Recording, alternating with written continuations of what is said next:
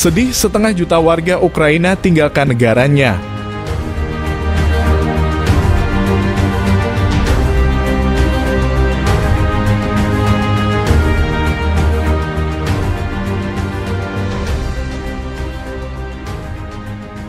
Serangan dari Rusia dan Ukraina terus memanas.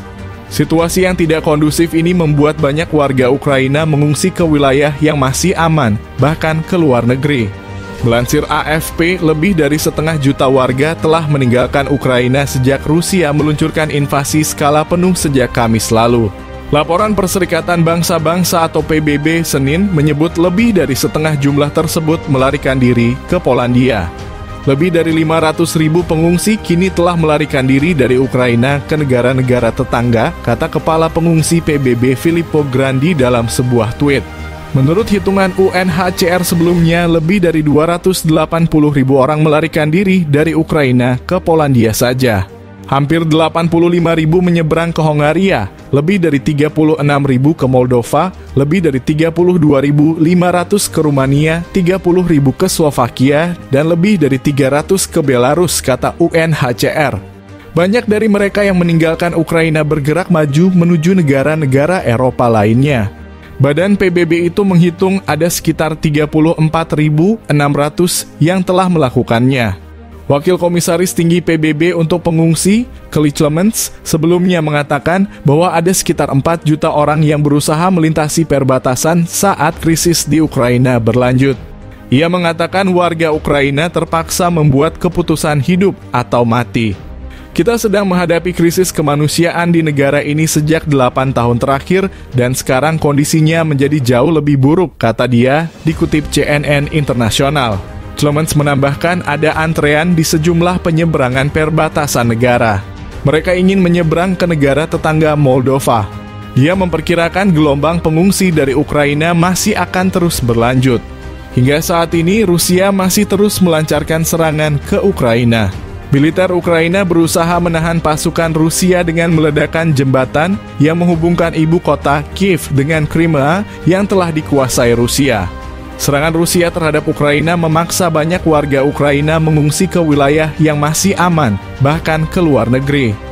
Juru bicara UNHCR lembaga PBB yang bertugas mengurusi pengungsi, Laura Padoan mengatakan sebanyak 422 ribu orang telah meninggalkan Ukraina ke negara-negara tetangga per Senin.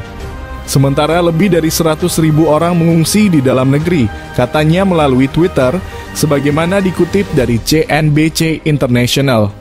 Pekan lalu PBB menyebut ada lebih dari 120 ribu warga Ukraina yang telah meninggalkan negaranya untuk menyelamatkan diri dari serangan Rusia. Wakil Komisaris Tinggi PBB untuk pengungsi Kelly Clements mengatakan bahwa ada sekitar 4 juta orang yang berusaha melintasi perbatasan saat krisis di Ukraina berlanjut. Clements mengatakan warga Ukraina terpaksa membuat keputusan hidup atau mati. Ada sekitar 850 ribu orang yang berlindung di tempat pengungsian sementara dan lebih dari 120 ribu orang telah meninggalkan Ukraina. Kita sedang menghadapi krisis kemanusiaan di negara ini sejak 8 tahun terakhir dan sekarang kondisinya menjadi jauh lebih buruk, kata dia, dikutip CNN Internasional. Kami melihat ada lebih dari 120 ribu orang yang telah kabur ke negara tetangga. Dan menurut saya, sambutan yang mereka terima dari komunitas lokal, dari otoritas lokal luar biasa, tambahnya. Clemens menambahkan ada antrean di sejumlah penyeberangan perbatasan negara. Mereka ingin menyeberang ke negara tetangga Moldova. Dia memperkirakan gelombang pengungsi dari Ukraina masih akan terus berlanjut. Hingga saat ini, Rusia masih terus melancarkan serangan ke Ukraina. Militer Ukraina berusaha menahan pasukan Rusia dengan meledakkan jembatan yang menghubungkan ibu kota Kiev dengan Crimea yang telah dikuasai Rusia. Serangan bertubi-tubi dari Rusia sejak Kamis telah menyebabkan sedikitnya 198 korban jiwa, 33 di antaranya adalah anak-anak. Meski demikian, Moskow membantah bahwa mereka menyasar warga sipil dan hanya menargetkan objek militer. Pemerintah Amerika Serikat AS menyerukan warga negaranya yang ada di Ukraina untuk segera meninggalkan negara yang diinvasi Rusia itu. AS memperingatkan bahwa Rusia tengah meningkatkan upaya untuk melancarkan serangan terhadap infrastruktur sipil dan fasilitas pemerintah Ukraina dalam beberapa hari ke depan. Kedutaan Besar AS menyerukan warga negara AS untuk meninggalkan Ukraina sekarang dengan menggunakan opsi transportasi darat yang tersedia secara pribadi jika aman untuk melakukannya. Demikian bunyi peringatan keamanan pada situs resmi Kedutaan Besar AS di Ukraina. Seperti dilansir CNN, Selasa, situasi keamanan di seluruh Ukraina sangat tidak stabil dan kondisi bisa memburuk tanpa peringatan, imbuh peringatan keamanan itu. Peringatan terbaru dari AS itu dirilis saat invasi Rusia ke Ukraina memasuki bulan ke-6 pada Rabu besok atau saat peringatan Hari Kemerdekaan Ukraina. Peringatan serupa juga dilontarkan oleh Presiden Volodymyr Zelensky dan para pejabat Ukraina lainnya yang menyebut Rusia mungkin melancarkan serangan lebih intens, termasuk serangan rudal, bertepatan dengan peringatan Hari Kemerdekaan Ukraina.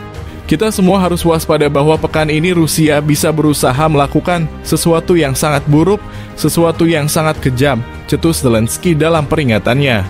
Di Kiev, otoritas militer setempat menerapkan larangan pertemuan besar mulai Senin hingga Kamis waktu setempat. Dilarang untuk menggelar acara massal, pertemuan damai, perkumpulan, dan acara-acara lainnya yang melibatkan pertemuan banyak orang, demikian pernyataan otoritas militer Kiev. Rusia bersikuku tidak memiliki rencana untuk menyerang Ukraina dan Kepala Intelijen Asing Sergei Nariskin telah mengutuk penyebar kebohongan berbahaya itu. Ia mengatakan info palsu ini disebarkan Amerika Serikat dan sejumlah negara barat.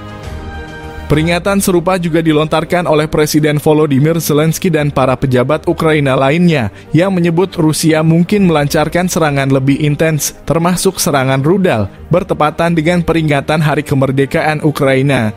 Kita semua harus waspada bahwa pekan ini Rusia bisa berusaha melakukan sesuatu yang sangat buruk, sesuatu yang sangat kejam, cetus Zelensky dalam peringatannya. Di Kiev, otoritas militer setempat menerapkan larangan pertemuan besar mulai Senin hingga Kamis waktu setempat. Dilarang untuk menggelar acara massal, pertemuan damai, perkumpulan, dan acara-acara lainnya yang melibatkan pertemuan banyak orang, demikian pernyataan otoritas militer Kiev. Rusia bersikuku tidak memiliki rencana untuk menyerang Ukraina dan Kepala Intelijen Asing Sergei Nariskin telah mengutuk penyebar kebohongan berbahaya itu. Ia mengatakan info palsu ini disebarkan Amerika Serikat dan sejumlah negara barat.